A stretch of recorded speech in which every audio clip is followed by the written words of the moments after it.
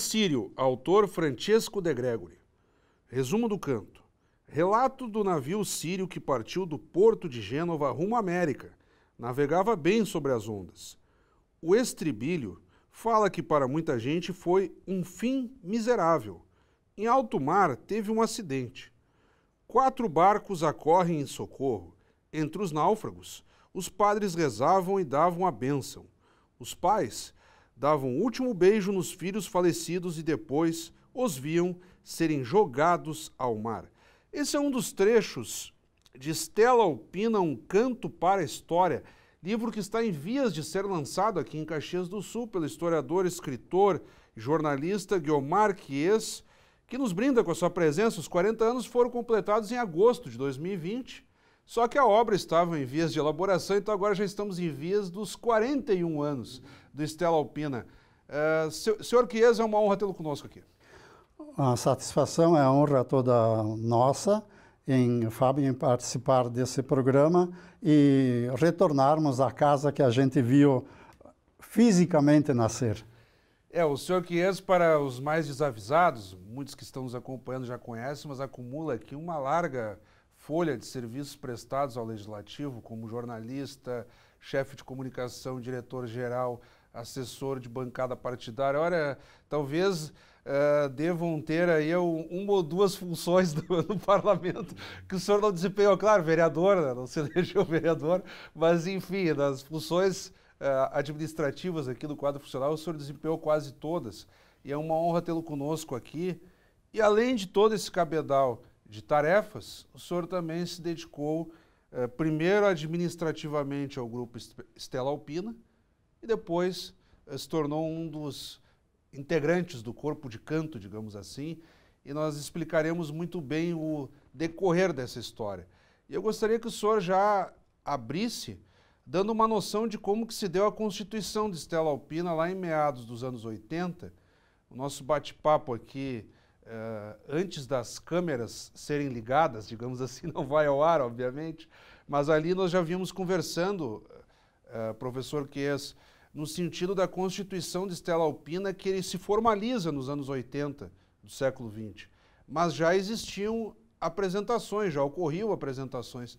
Eu gostaria que o senhor explicasse, detalhasse esse início do Estela Alpina. Sim, o, Estela Alpina eh, teve seu, seu início de vida, de existência, lá no hoje bairro São Virgílio da Sexta Légua, na comunidade. E o pessoal se reunia esporadicamente, ou uma vez por semana também, para poder passar o tempo, jogar umas cartas e, e cantar algumas canções. É, isso como acontece normalmente em muitas comunidades, uh, mais no nosso interior. Com o passar do tempo, o, os integrantes da época cogitaram em formar um grupo permanente. E aí, então, foi dado como o início da atividade permanente do grupo de canto em agosto de 1980. Isso de fato. E a, e, e a partir daquela época, então, o grupo já participou de encontros de corais, de atividades religiosas. Uh, aquele tempo era muito uh, reivindicado, como hoje, em atuação em cerimônias religiosas. Casamento, uh, bodas, é, festa de, de, padroeiros, também em eventos é, fúnebres, em cerimônias de, de, sepultamento, como acontece hoje. E, isso de 80 até 86. Em 1986, surgiu a necessidade da existência legal, de direito da O senhor da fala de um CNPJ, coisa do tipo? Isso, porque é, para adquirir eh, a propriedade que hoje é sede da Estela Alpina, eh, foi necessário que ela tivesse uma existência legal. Eh, para fins de transmissão, por intermédio de escritura, tinha que ter CNPJ e uma, uma existência de uma, de uma associação legalmente constituída.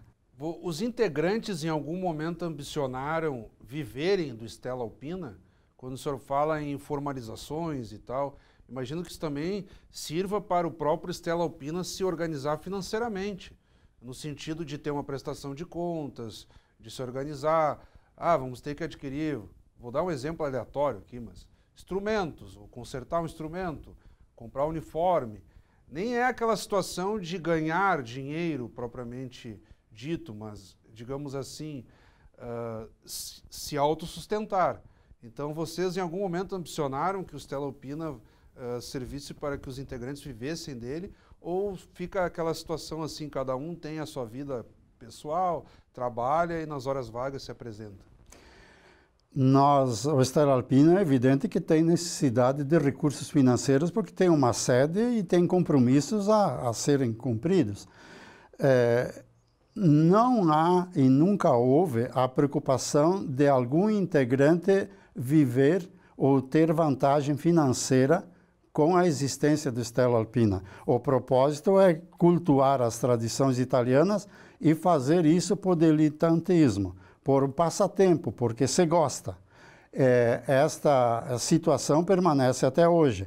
É evidente que nós temos compromissos financeiros e por isso nós temos um quadro social. Não é todo ele, mas uma boa parte contribui com uma anuidade que é fixada pela Assembleia. Ou seja, ser autossustentável. Ser autossustentável. Existem participações nossas em alguns eventos que a gente solicita alguma colaboração financeira até para alimentar o nosso caixa. Claro. E, e, além das anuidades que a gente costuma cobrar. O livro dá conta das primeiras formações e eu já vou pedir que a nossa equipe comece a passar. Nós temos aqui as fotos, uma das primeiras formações é aberta da esquerda para a direita por Bortolo Menegon, Ângelo Perini, Divino Psaia e por aí afora. Vão passando. Uh, aqui as primeiras dificuldades de organização do próprio grupo. Aí tem as eleições das primeiras diretorias, como o senhor já deu um, digamos assim, uma pista, um ampassant nesse sentido. Então aqui presidente Alziro Antônio Perini, secretário José Demoliner Sobrinho, tesoureiro Ângelo Menegol. Então aqui começa o Estela Alpina a se organizar do ponto de vista burocrático. Isso também tem reflexo nas próprias apresentações. Aqui já uma foto mais recente, de julho de 2000, na programação de um evento em Jaraguá do Sul, em Santa Catarina. Aqui temos ainda ó, o Perini, que é da primeira direção, está aqui. Então, é, digamos assim, integrantes com larga longevidade.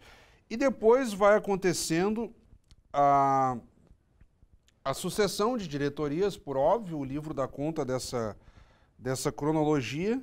E aqui a restauração de, de pré, do prédio que hoje é a sede do Estela Alpina, que foi adquirido em 87.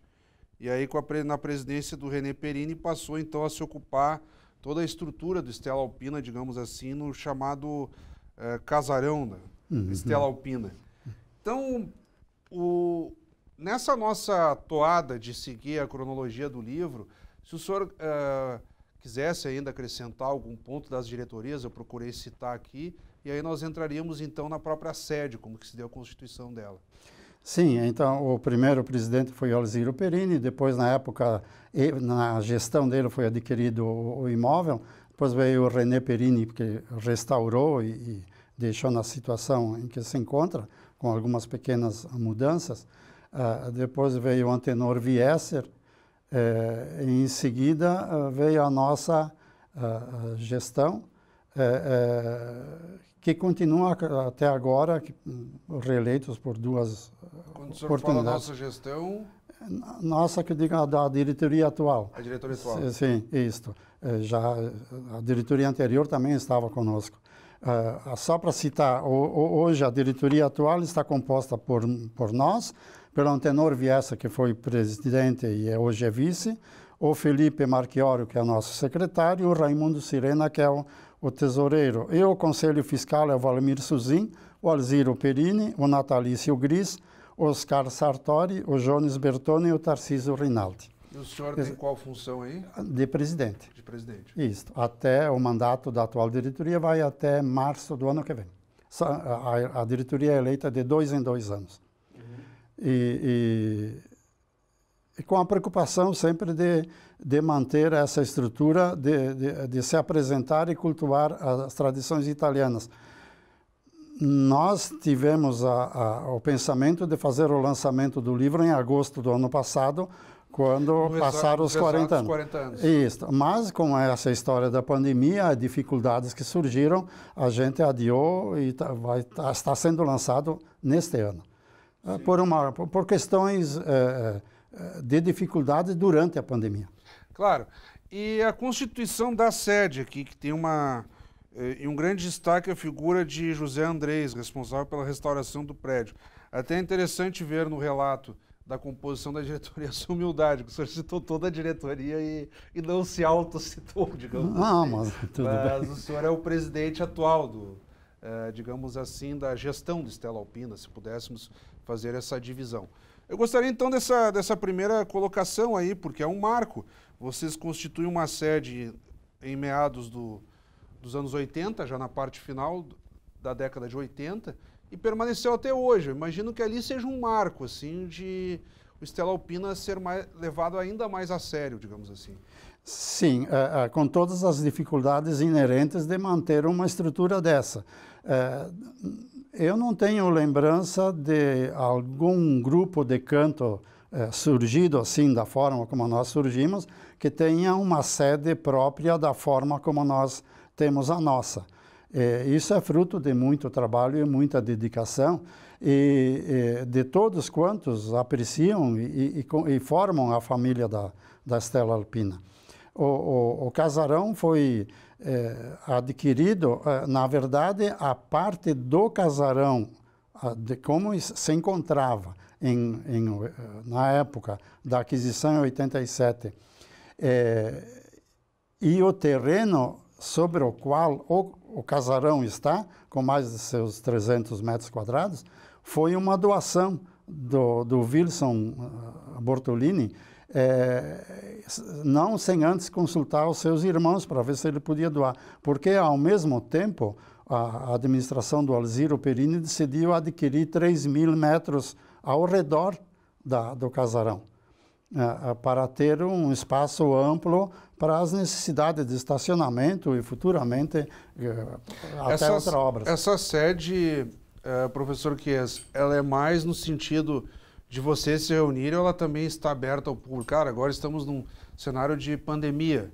mas num, em circunstâncias normais, digamos assim, a casa também funciona para eventos abertos ao público, digamos assim.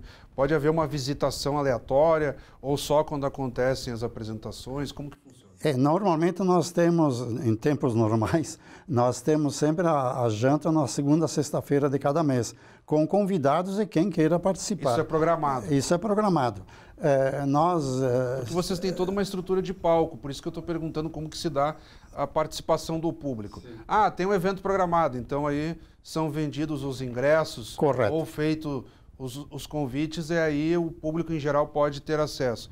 De resto seriam, digamos assim, para os ensaios, para as reuniões. É, nós temos um econômico que explora a parte da, da, da, da, da- da culinária.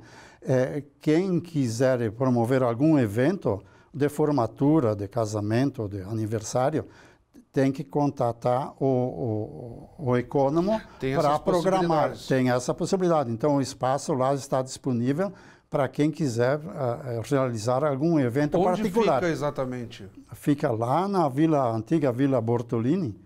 É, depois da Avenida França tem uns postos de combustível. Dobra à esquerda, como quem vai lá para para São Virgílio, lá para o crematório. Um, menos de um quilômetro depois tem a, a sede, aparece ela bem grande lá, quem, quem circula por lá. Então, é na, na antiga Vila Bortolini. Hoje, toda aquela área pertence, segundo a legislação do, da Câmara de Vereadores, ao bairro São Virgílio, da Sexta Légua. É, a- o, o prédio, então, a- a- as nossas atividades s- são ah, programadas para a segunda sexta-feira de cada mês, com a, a, que é o prato tradicional e eh, um dos mais solicitados aqui na região, mas não é fácil de encontrar aqui em Caxias. né? Nós então mantemos a tradição do menarrosto e, e com a apresentação do grupo de canto. A gente faz três ou quatro canções no começo e três, quatro canções ah, ao final do jantar. O palco de vocês é relativamente novo, né? O palco Sim. suspenso, digamos assim. Isso, foi é de feito. 2018, eu estou. Nesse local onde está o palco suspenso, que foi feito de, de, de metal. Até eu vou deixar aqui para a nossa equipe vai pegar. É, que foi feito de metal. A inauguração tinha uma soberana, uma embaixatriz. Uma embaixatriz. Aline Mesomo. Correto, da última festa da uva. É. É, é nós. Ah, ali era, foi deixado um espaço, inclusive com o, o, a, a, altura até o teto da, da, da, do casarão, para ser implantado um palco com uma pipa grande. Né? Era a ideia. E, só que quando fomos buscar informações para adquirir essa pipa, que tinha que ser alguma coisa um pouquinho avantajada, porque tem que abrigar os, todos os cantores, que são 10 a 12, e, e essa pipa teria que ser desmontada, montada no local, feito todas as adequações necessárias, então se tornaria muito, muito dispendioso. E aí resolvemos montar um palco metálico que serviu, está muito bem. Temos que agradecê-lo por nos suportar. Uh, senhor Queso, Vamos dar agora uma pausa na abordagem de Stella Alpina, Um Canto para a História, obra que pretende contar os 40 anos de história aqui da, é, do grupo tradicional, tradicional de Caxias do Sul. E vamos de imediato para as dicas do autor. Roda a vinheta aí.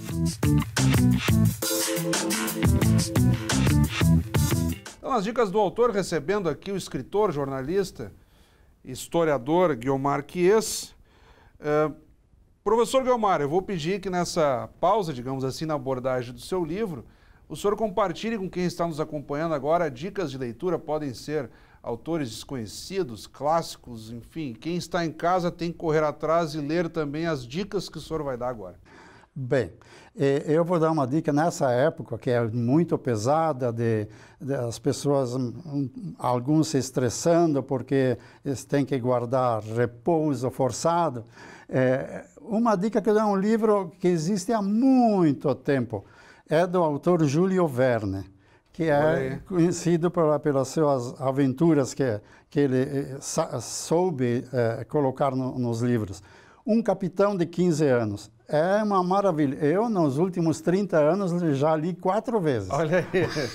Então, é leve. E é bom de ler. Atraente. Eu, quando adolescente, gostava muito. É, é atraente e, e, e, prende a gente do começo ao fim. É, é uma obra uh, que vale a pena para quem quer se, bem mesmo se distrair. Eu estou lendo um dos nove livros do, da coleção Tapete Mágico, que também é muito antiga, da antiga editora Globo. É, esse tapete mágico tem vários é, exemplares é, sobre nós, a natureza, maravilhas do conhecimento humano, que então explora todo o conhecimento humano, a conquista dos continentes, como é que foram ocupados os continentes na Terra, nós e a natureza, tudo que existe na natureza, ele, dá um breve início da, da situação. E eu atualmente estou lendo o volume que trata sobre as artes.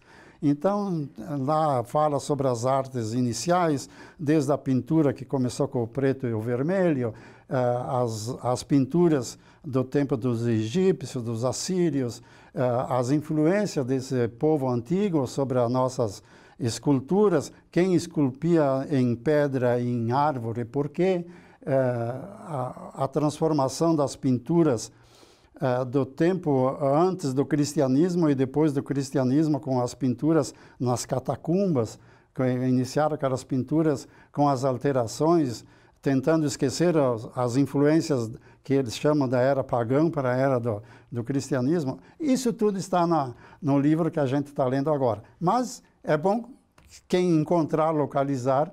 É, é, essa obra Tapete Mágico tem muito livro para conhecimento geral. Olha aí que legal.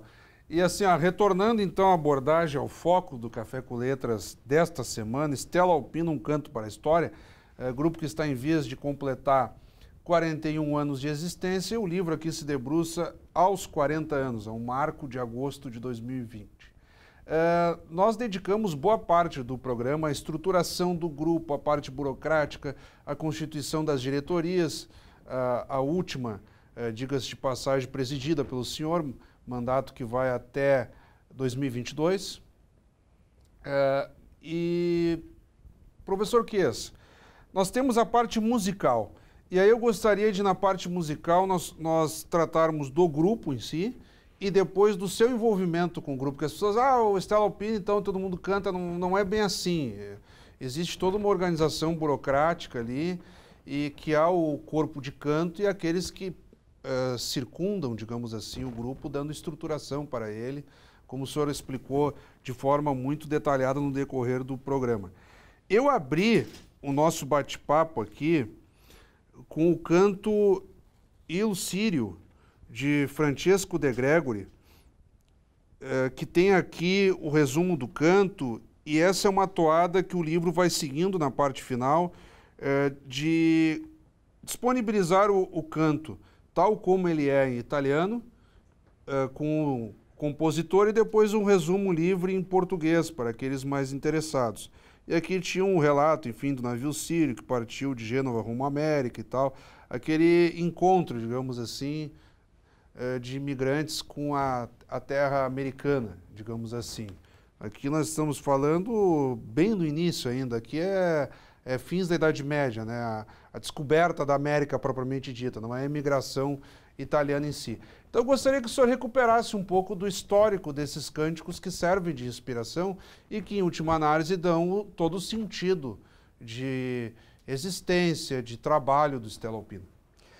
Sim, nós procuramos uh, cultuar e manter vivas as canções, uh, especialmente aquelas que os nossos avós, e isso quando a gente fala em nossos avós, especialmente os avós dos integrantes do grupo, que uh, ajudaram, transmitiram uh, verbalmente e com suas ações os cantos que a gente eh, eh, costumava cantar. Eh, eu sou de uma época lá do interior de, de, Montenegro, quando nas roças se ouvia as pessoas cantarem um hino italiano e o grupo que estava trabalhando mais distante uh, respondia com outro canto italiano. Isso era comum aqui na região também. Eu tenho parentes e amigos que dizem sim, a gente é, embaixo dos parreirais, na safra da uva, cantar uma canção aqui e o vizinho que colhia a uva lá com a, com a turma dele, com os familiares, responderem a esses cantos.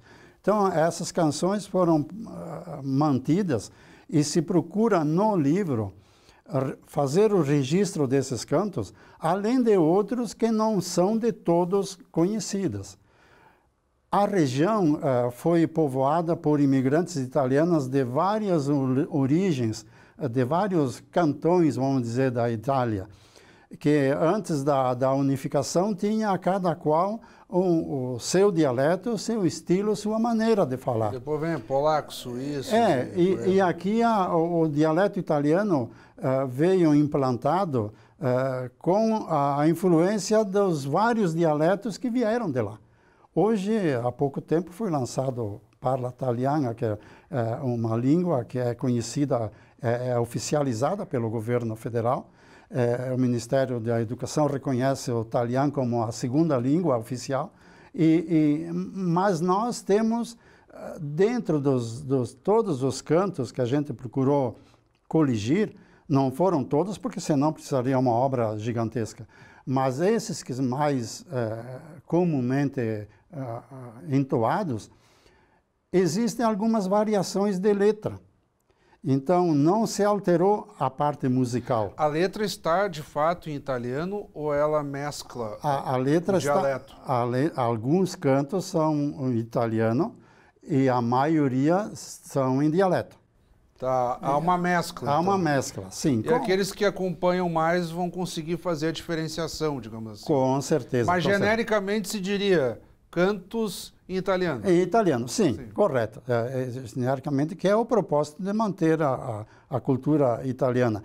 O guarda-chuva maior, digamos assim. Isso, isso. E até, se me permite, é só para uma homenagem aos nossos uh, o quadro de, de, cantores atual que, que ultimamente estão atuando com os cantos, eu vou citar o nome deles todos. Claro. Vou dar uma lida aqui na página 81, que são o Natalício Gris, o Mário Tissot, o Vilmar Pasquale, o Giovanni Negrini, que é o nosso acordeonista, é o único jovem do coral que tem em torno de 20 anos. Os restantes têm bastante juventude acumulada.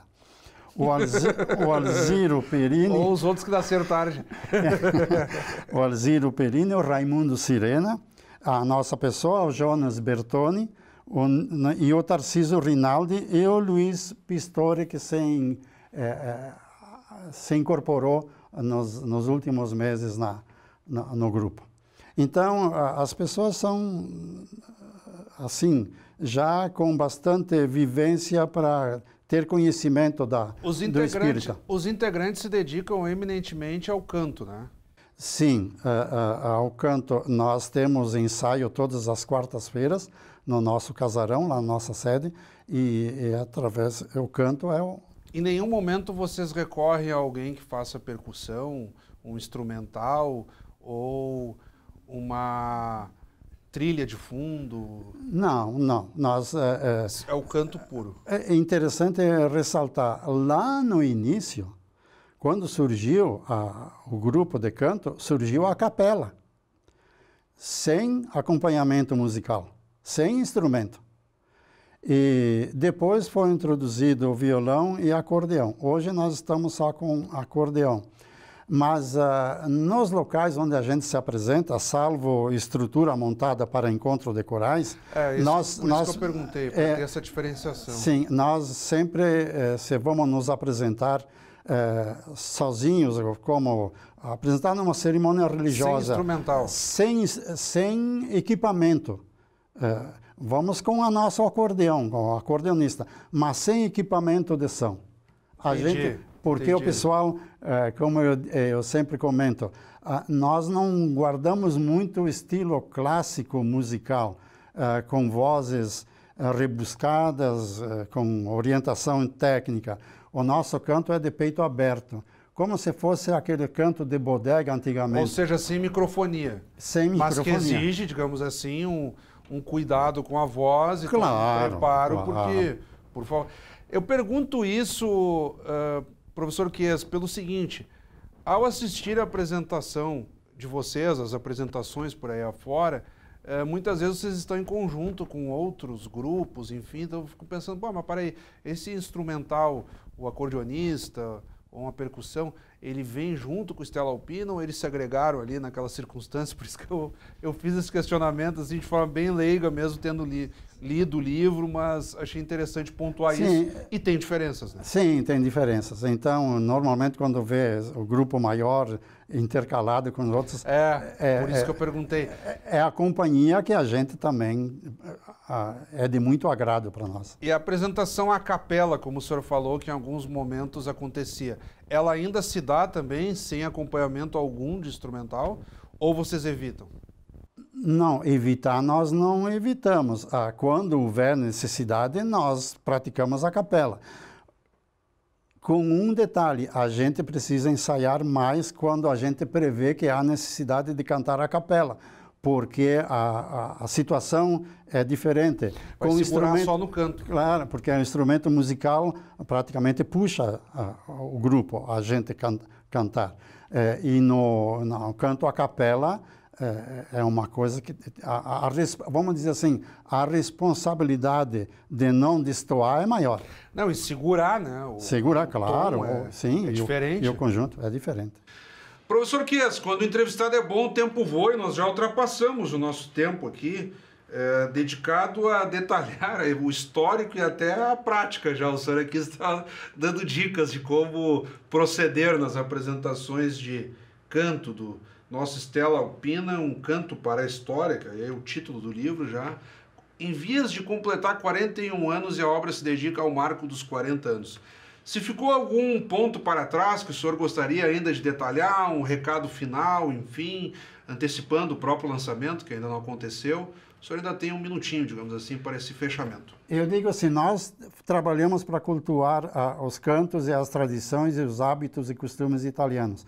Mas a, a, o que eu peço, e o que a gente sempre pede quando tem oportunidade, é que cada etnia, cada origem, cultue, mantenha e preserve os seus hábitos, seus costumes e suas tradições. É muito importante, porque a gente vê hoje na sociedade que é um esforço para tornar todo mundo igual. Não é verdade. Nós precisamos manter as tradições de cada etnia para que continuemos fortes.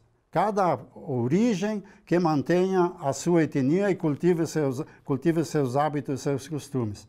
Nós seremos bem fortes e valentes para enfrentar, enfrentar essas vicissitudes aí do dia a dia. Hum, agradeço eu.